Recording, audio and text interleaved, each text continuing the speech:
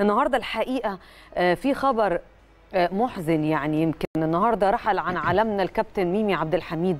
كابتن ميمي أحد أفراد الجيل العظيم لكرة القدم في النادي الأهلي واللي ضم أسماء كبيرة زي كابتن صالح سليم كابتن عادل هيكل رفعت الفناجيلي وطارق سليم طبعا وأحمد زايد وغيرهم من نجوم النادي الأهلي الكبار في الوقت ده.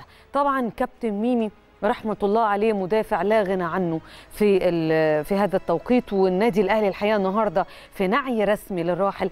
تم نشره اليوم عبر الموقع الرسمي للنادي وحسابات النادي الرسمية كلها. الكابتن محمود آه، رئيس النادي والسادة أعضاء مجلس الإدارة والمدير التنفيذي وقطاعات النادي بينعون ببالغ الحزن والأسى.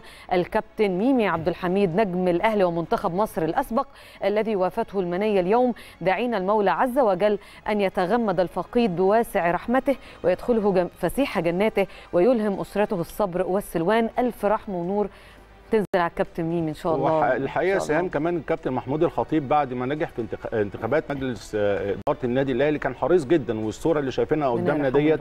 كانت زيارة للكابتن محمود الخطيب. اللي في زار آه. آه طبعا ال- ال- ال- المرحوم آه، ميمي عبد الحميد رحمة الله عليه في بيته مم. بيكرموا وقتها ومنحوا درع النادي الأهلي وعليه عبارة النادي الأهلي الخالدة الأهلي فوق الجميع وكمان ساعتها الكابتن اعرب الكابتن محمود الخطيب عن سعادته طبعا الكبيرة جدا لتكريم مدافع يعني يعني لاعب كبير ومدافع كبير في يعني في الجيل ال- ال- الذهبي للنادي الأهلي والصورة اللي قدام حضراته أو اللي كانت موجودة قدام حضراتكم دي صورة كابتن محمود الخطيب فعلا كان زار بعد طبعا توليه مسؤولية مجلس إدارة النادي الأهلي زار الكابتن آه، ميمي في بيته وأعدا- اهدى له طبعا درع تكريما لرموز النادي الأهلي. مم. النادي الأهلي ما بينساش رموزه القديمة ما بينساش لاعيبته اللي يعني ضحوا كتير علشانه حتى من أجيال بعيدة جدا جدا جدا.